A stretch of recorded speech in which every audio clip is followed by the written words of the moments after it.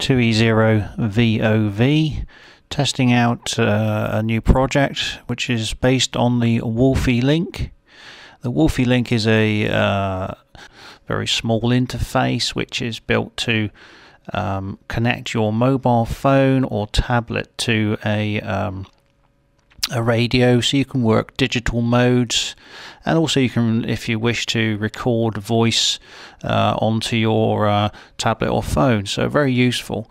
Found the details from the uh, build or for the build as shown here. This is the diagram. I found them from uh, online by downloading Wolphilink manual the actual manual for using it. And if you just do a search on Google I'm sure you'll find it uh, it's a very good manual. It tells you plenty enough to be able to effectively replicate the um, the little uh, box of tricks. Here's a picture of mine. Um, hardly pretty, but as I say, it's dead bug.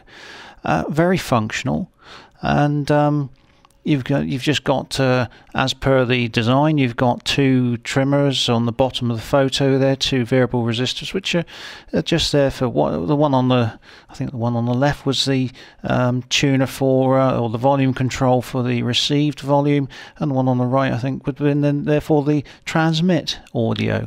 This is connected uh, to my uh, mobile phone or tablet through um, a four four pole three and a half mil jack plug there. That plugs into what effectively is the headphone socket of your tablet or phone.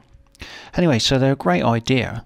Um, I run it on an FT817 and I've been testing it on a um, on 500 milliwatts on a program called WSPR. So here's WSPR. Um, here's the the app that I run on my tablet um, it costs, I think, about £1.54 at the moment, so excellent value. And um, weak signal propagation reporter, as it's uh, known, or WSPR for short. And um, yeah, works fine. You can use it to get signal reports from other stations. It's all automatic. You just set it up and leave it to run. So here's the interface, effectively, the screen.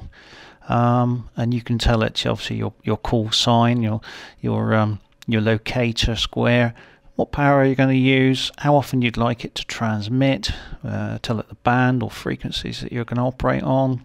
Now this was um, 500 milliwatts on 20 meters using um, uh, using my cobweb antenna 10 meters above the ground.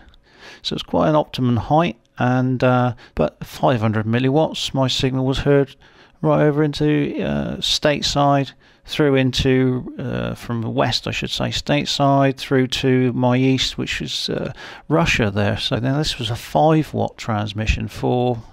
Um, oh, I left it running a couple of hours, transmitting about once every 15 minutes. It would put a two minute signal carrier up, calling out, and uh, after a couple of hours, this is what came back.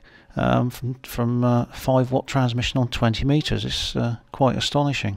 This was uh, 40 meters.